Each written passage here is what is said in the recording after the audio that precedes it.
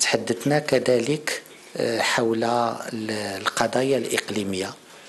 وكيفاش أن المغرب وفرنسا يمكن لهم يشتغلوا حول آه، مجموعة من القضايا سواء في الشرق الأوسط. تحدثنا آه، على آثار الاعتداء الإسرائيلي على غزة وال يعني ما خلفه من آثار إنسانية كارثية وكيفية العمل بحال اللي أكد على ذلك جلالة الملك آه، في خطاب الرياض الأخير على وقف لإطلاق النار على وصول المساعدات على خلق عملية سياسية على عدم تهجير الفلسطينيين على آه، آه، الحفاظ على الهوية العربية الإسلامية للقدس.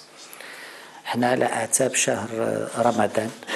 والوضع كيكون متوتر في هذا الشهر والمغرب يحذر من كل الممارسات من كل القرارات اللي يمكن لها تزيد التوتر آه، في حول المسجد الأقصى وفي مدينة القدس خلال هذه الفترة. واللي تنضاف إلى الواقع المأساوي الخطير اللي كاين آه، في آه، في غزة.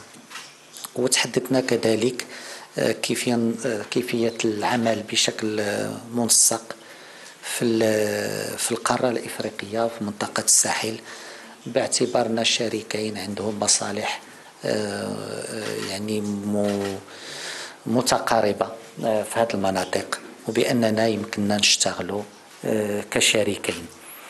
إذا بحال قلت هذه الزيارة كتأتي في إطار هاد هاد الرغبة القوية لدى جلالة الملك وفخامة الرئيس باش أن الشراكة المغربية الفرنسية آه، تنطلق على أسس قوية تجدد آه، بشكل آه، مستمر مع الحفاظ على ذاك الأساس القوي التاريخي والإنساني اللي عندها وبالاستفادة من المكتسبات اللي عند هذه الشراكة منذ منذ عقود.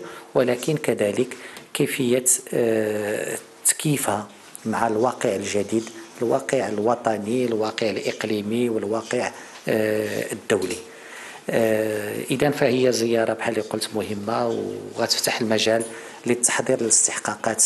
المقبلة واللي غادي تكون كذلك آه، استحقاقات اللي يمكن تشكل واحد الأهمية خاصة بالنسبة للعلاقة شكرا.